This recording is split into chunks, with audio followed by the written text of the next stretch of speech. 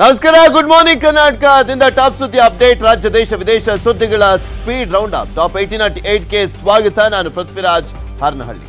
Top ಏಟಿನಲ್ಲಿ ಮೊದಲ ಸುದ್ದಿಯನ್ನು ನಿಮ್ಮ ಮುಂದೆ ಹೇಳ್ತಾ ಇದ್ದೀನಿ. ಅದು ಶಂಕಿತ ಉಗ್ರರ ವಿಚಾರಕ್ಕೆ ಸಂಬಂಧಪಟ್ಟಂತೆ. ಬಗೆದಷ್ಟು ಹೊರ ಬರ್ತಾನೆ ಇದೆ. ಐವರು ಶಂಕಿತ ಉಗ್ರರ ರಹಸ್ಯಗಳು.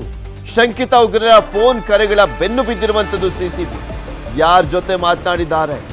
ಎಲ್ಲೆಲ್ಲಿ ಹೋಗಿದ್ರು? ಯಾವ ರೀತಿಯಾಗಿ ಇವರಿಗೆ ಫಂಡಿಂಗ್ ಆಗ್ತಾ ಇತ್ತು, ಇದೆಲ್ಲದ್ರ ಬಗ್ಗೆನೂ ಕೂಡ ಮಾಹಿತಿಯನ್ನ ಪಡ್ಕೊಳ್ತಾ ಇದ್ದಾರೆ. ಬೆಂಗಳೂರಿನಲ್ಲಿ ಸೆರೆ ಶಂಕಿತ ಉಗ್ರರ ಮಾಹಿತಿಯನ್ನ ಪಡೆದುಕೊಳ್ಳಲಾಗ್ತಾ ಇದೆ.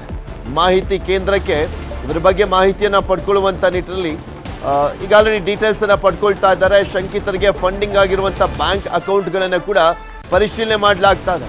ಐವರು ಆರೋಪಿಗಳ ವಾಟ್ಸಪ್ ಚಾಟ್ ಅನ್ನ ಕೂಡ ಪರಿಶೀಲನೆ ಮಾಡಲಾಗ್ತಾ ಇರುವಂತದ್ದು ಬಿಕಾಸ್ ಇವರನ್ನ ಅರೆಸ್ಟ್ ಮಾಡುವಂತ ಸಂದರ್ಭದಲ್ಲಿ, ಇವರ ಮೇಲೆ, ಇವರ ಮನೆ ಮೇಲೆ ದಾಳಿಯನ್ನು ಮಾಡಿದಂತ ಸಂದರ್ಭದಲ್ಲಿ ಹನ್ನೆರಡು ಫೋನ್ಗಳು ಸಿಕ್ಕಿದ್ವು ಅದರಿಂದ ಇನ್ನಷ್ಟು ಸ್ಫೋಟಕ ಮಾಹಿತಿಗಳು ಹೊರಗೆ ಬರ್ತಾ ಇದೆ.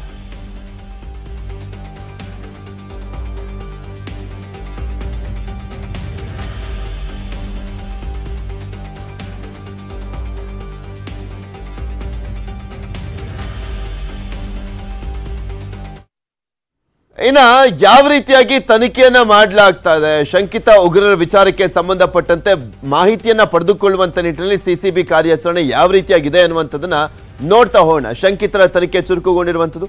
ಸರಸಿಕ ಶಂಕಿತ ಉಗ್ರರ ಬಗ್ಗೆ ಕೇಂದ್ರ ಗೃಹ ಇಲಾಖೆಗೆ ಮಾಹಿತಿಯನ್ನು ಕೊಡಲಾಗಿದೆ. ಶಂಕಿತರ ಮೇಲಿರುವಂಥ ಆರೋಪ ಹಾಗೂ ಸಂಚಿನ ಬಗ್ಗೆ ವರದಿಯನ್ನು ಕೊಡಲಾಗಿರುವಂಥದ್ದು. ಶಂಕಿತ ಉಗ್ರರ ಸಂಖ್ಯೆ, ಹೆಸರಿನ ಸಂಪೂರ್ಣ ಮಾಹಿತಿಯನ್ನ ರವಾನೆ ಮಾಡಲಾಗಿದೆ. ಶಂಕಿತ ಉಗ್ರರ ಸಂಪರ್ಕದಲ್ಲಿದ್ದಂಥವರ ಬಗ್ಗೆಯೂ ಕೂಡ ಮಾಹಿತಿಯನ್ನು ಈಗ ಕಲೆಕ್ಟ್ ಮಾಡಲಾಗ್ತಾ ಇರುವಂಥದ್ದು.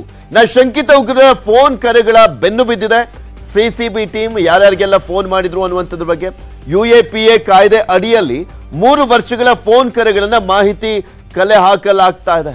ಶಂಕಿತ ಉಗ್ರರು ಬಳಸಿರುವಂತ ಸಿಮ್ಗಳ ಬಗ್ಗೆಯೂ ಕೂಡ ತನಿಖೆಯನ್ನ ತೀವ್ರವಾಗಿ ಮಾಡಲಾಗ್ತಾ ಇದೆ. ಯಾರ ಹೆಸರಲ್ಲಿ? ಸಿಮ್ ಅನ್ನ ಪಡ್ಕೊಂಡಿದ್ರು, ಯಾಕೆ ಪಡ್ಕೊಂಡಿದ್ರು, ಆ ಸಿಮ್ಗಳ ಮುಖಾಂತರ ಯಾರಿಗೆ ಕರೆ ಮಾಡಿದ್ರು ಅಂತ. ನಾವು ವಾಟ್ಸಪ್ ಮೂಲಕ ಹಲವರಿಗೆ ಕರೆ ಮಾಡಿರುವಂಥ ಶಂಕಿತರು, ಅದ್ರ ಬಗ್ಗೆನೂ ಕೂಡ ಮಾಹಿತಿಯನ್ನು ಕಲೆಕ್ಟ್ ಮಾಡಲಾಗ್ತದೆ. ವಾಟ್ಸಪ್ ಚಾಟಿಂಗ್ ಆಗಿರ್ಬೋದು, ಕರೆಗಳು ಲೊಕೇಶನ್ ಬಗ್ಗೆನೂ ಕೂಡ ಟ್ರೇಸ್ ಔಟ್ ಮಾಡುವಂತ ಕೆಲಸ ಮಾಡಲಾಗ್ತದೆ. ಒಟ್ಟು ಹನ್ನೆರಡು ಮೊಬೈಲ್ ಫೋನ್ ರಿಟ್ರೀವ್ಗೆ ಕಳಿಸಿರುವಂತದ್ದು ಸಿ ಸಿ ಬಿ ಬಿಕಾಸ್ ಇವರನ್ನ, ಅಂದ್ರೆ ಇವರ ಮನೆ ಮೇಲೆ ದಾಳಿ ಮಾಡಿದಂತ ಸಂದರ್ಭದಲ್ಲಿ ಇವರಿಗೆ ಸಂಬಂಧಪಡುವಂತ ಹನ್ನೆರಡು ಮೊಬೈಲ್ ಫೋನ್ಗಳು ಸಿಕ್ಕಿದ್ವು. ಸೊ ಹೀಗಾಗಿ ಅದೆಲ್ಲದ್ರ ಬಗ್ಗೆನೂ ಕೂಡ ಸಂಪೂರ್ಣವಾದಂಥ ಮಾಹಿತಿಯನ್ನ ಕಲೆಕ್ಟ್ ಮಾಡಲಾಗ್ತದೆ.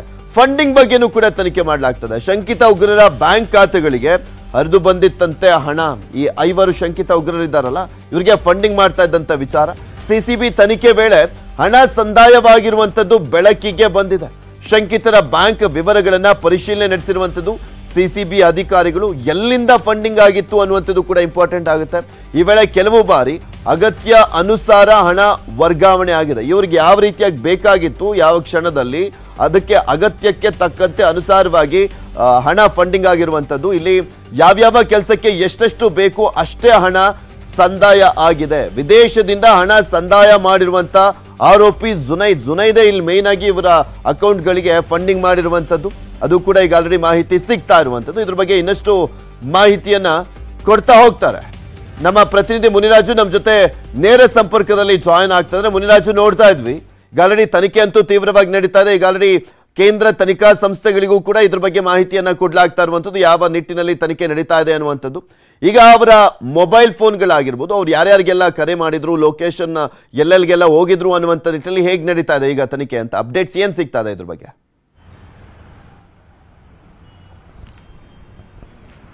ಆ ಪೃಥ್ವಿ ಏನು ಬೆಂಗಳೂರಿನಲ್ಲಿ ಸಿಕ್ಕಂತ ಐವರು ಶಂಕಿತ ಉಗ್ರರ ತನಿಖೆಯನ್ನ ಈಗ ಸಿಸಿಬಿ ಪೊಲೀಸರು ಬಹಳ ಚುರುಕಾಗಿ ಮಾಡ್ತಾ ಇದ್ದಾರೆ. ಅದರಲ್ಲಿ ಪ್ರಮುಖವಾಗಿ ಅವರಿಗೆ ಫಂಡಿಂಗ್ ಎಲ್ಲಿಂದ ಬರ್ತಾ ಇತ್ತು ಮತ್ತೆ ಅವ್ರ ಜೊತೆ ಯಾರು ಸಂಪರ್ಕದಲ್ಲಿದ್ದಾರೆ ಮತ್ತೆ ಯಾರ ಜೊತೆ ನಿಕಟವಾಗಿ ಕಾಂಟ್ಯಾಕ್ಟ್ ಅನ್ನ ಇಟ್ಕೊಂಡಿದ್ರು ಅನ್ನೋದ್ರ ಬಗ್ಗೆ ಒಂದು ತನಿಖೆಯನ್ನ ಬಹಳ ಚುರುಕಾಗಿ ಮಾಡ್ತಾ ಇದ್ದಾರೆ. ಇದರಲ್ಲಿ ಪ್ರಮುಖವಾಗಿ ಇವರಿಗೆ ಫಂಡ್ ಫಂಡಿಂಗ್ ಬಂದಿರುವಂತದ್ದು ವಿದೇಶದಿಂದ ಕೆಲವು ಫಂಡಿಂಗ್ ಬಂದಿದೆ ಅಂತೇಳಿ ಈಗ ತನಿಖೆಯಿಂದ ಗೊತ್ತಾಗಿರೋದು ಆದ್ರೆ ವಿದೇಶದಿಂದ ಫಂಡ್ ಮಾಡಿರೋದು ಎಲ್ಲವೂ ಸಹ ಜುನೈದಿಂದನೇ ಅಮೌಂಟ್ ಅನ್ನ ಇವರು, ಇವ್ರ, ಇವರ ಒಂದು ಮೊಬೈಲ್ ಬ್ಯಾಂಕ್ ಮೊಬೈಲ್ಗೆ ಮತ್ತೆ ಬ್ಯಾಂಕ್ ಖಾತೆಗಳಿಗೆ ಒಂದು ಡಿಜಿಟಲ್ ಪೇಮೆಂಟ್ ಅನ್ನ ಮಾಡಿದ್ದಾನೆ ಅಂತೇಳಿ ಈಗ ತನಿಖೆಯಿಂದ ಗೊತ್ತಾಗಿದೆ.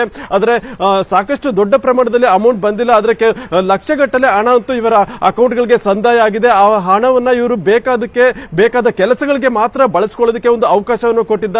ಬೇರೆ ಅನವಶ್ಯಕವಾಗಿ ಯಾವುದೇ ರೀತಿಯ ಖರ್ಚು ವೆಚ್ಚಗಳಿಗೆ ಬಳಸಬಾರ್ದು ಅಂತ ಹೇಳಿ ಒಂದು ಕಟ್ಟುನಿಟ್ಟಿನ ಒಂದು ಸೂಚನೆಯನ್ನು ಸಹ ಕೊಟ್ಟಿರ್ತಾರೆ. ಆ ಸಲುವಾಗಿ ಯಾವ್ಯಾವ ಕೆಲಸಗಳಿಗೆ ಮತ್ತೆ ಏನೇನ್ ಪರ್ಚೇಸ್ ಮಾಡಬೇಕಾಗುತ್ತೆ ಅಂತ ಒಂದು ವಸ್ತುಗಳಿಗೋಸ್ಕರ ಮಾತ್ರ ಈ ಹಣವನ್ನ ಬಳಕೆ ಮಾಡಬೇಕು ಅಂತ ಹೇಳಿ ಒಂದು ಕಂಡೀಷನ್ ಮೇಲೆಗೆ ಹಣವನ್ನ ಕಳಿಸಿರ್ತಾನೆ ಅಂತ ಹೇಳಿ ಈಗ ತನಿಖೆಯಿಂದ ಗೊತ್ತಾಗಿರೋದು ಅದು ಡಿಜಿಟಲ್ ಪೇಮೆಂಟ್ ರೂಪದಲ್ಲಿ ಬಂದಿದೆ. ಮತ್ತೆ ಇನ್ನು ಉಳಿದಂತೆ ಆರೋಪಿಗಳಿಗೆ ಏನಾದ್ರು ಕ್ರಿಪ್ಟೋ ಕರೆನ್ಸಿ ಏನಾದ್ರು ಬಳಕೆ ಮಾಡಿದರೆ ಅದ್ರ ಬಗ್ಗೆ ಏನಾದ್ರು ನಾಲೆಜ್ ಇದೆಯಾ ಅನ್ನೋದ್ರ ಬಗ್ಗೆ ಸಿಸಿಬಿ ಪೊಲೀಸರು ತನಿಖೆಯನ್ನ ಮಾಡ್ತಾರೆ. ಆದ್ರೆ ಕ್ರಿಪ್ಟೋ ಕರೆನ್ಸಿ ಬಳಕೆ ಬಗ್ಗೆ ಅಥವಾ ಅದನ್ನ ಒಂದು ರಿಸೀವ್ ಮಾಡಿರೋದ್ರ ಬಗ್ಗೆ ಯಾವುದೇ ರೀತಿಯ ಮಾಹಿತಿ ಇನ್ನು ಪೊಲೀಸರಿಗೆ ಸಿಕ್ಕಿ, ಸಿಕ್ಕಿಲ್ಲ.